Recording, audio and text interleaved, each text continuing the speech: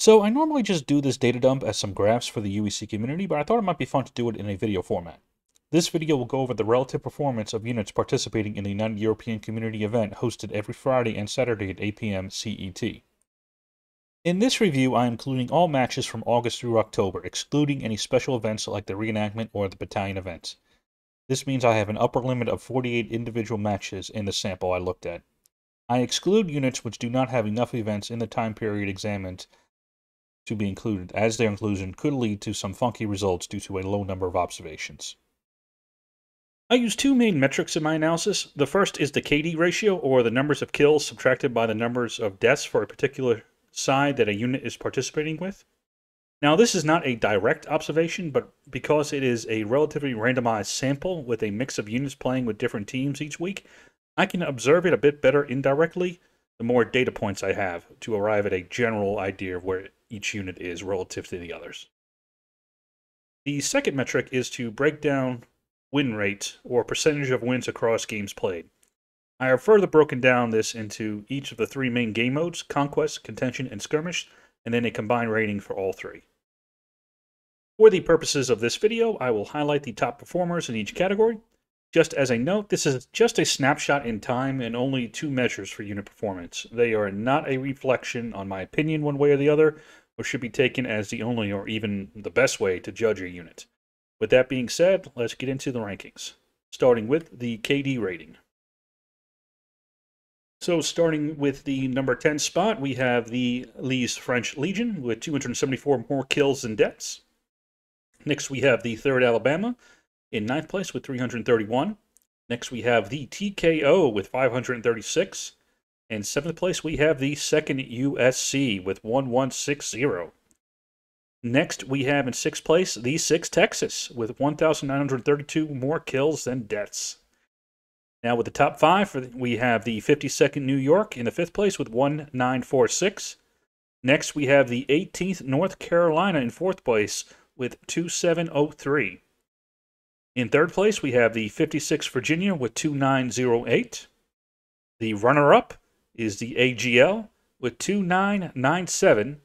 And the first place, we have the 8th Florida with 3,290 more kills than deaths in the period examined. Moving on to percentage wins per mode, starting out with Conquest, we have in fifth place the German Corps with a 40% win rate for the Conquest mode. Next, we have a three way tie for fourth place. We have the 51st New York, the 56th Virginia, and the 6th Texas, all with a 42% win rate. Next, we have in third place the 18th North Carolina with a 43% win rate. Now we have a tie for second with a 50% win rate for both the ANV and the 6AL, also a subordinate of the ANV, or another linked unit there, so they are both at 50%. Finally, the winner for Conquest, we have the top rated unit is the AGL with a 62% win rate. Moving on to contention, starting with fifth place, we actually have a five way tie, all with a 50% win rate. They are the 20th Georgia, the 3rd Alabama, the LFL, the 2nd USC, and the 88th New York. Next, in fourth place, we have the Shenandoah Regulars with a 57% win rate. In third place, we have the TKO at 60% win rate for contention. Now, once more, we have a two way tie for second place, and that is the 36th New York and the 51st New York, or the SB in general at a 64% win rate. And the top rated regiment for contention is once more the 8th Florida here with a 66.6% win rate for contention. Moving on to the skirmish mode, starting out with the 10th place slot, we have once again a uh, five way split. And at a 50% win rate, we have the TKO, 2 Corps, the German Corps, 6 Texas, and 56 Virginia. Now, moving on to the ninth place spot, we have the AGL at 52%. In eighth place, we have the SB or the 51st New York at 56.5. Next, we have the 2 USC at 58%. In sixth place, we have the 20th Georgia with a 65% win rate. Moving into the top five, we first have the ANV at a 66.6% win rate for fifth place. And then the 60, well, I'm sorry, the 6AL um, has actually a 68% win rate to take the fourth place. So slightly higher than the uh, rest of the ANV team there.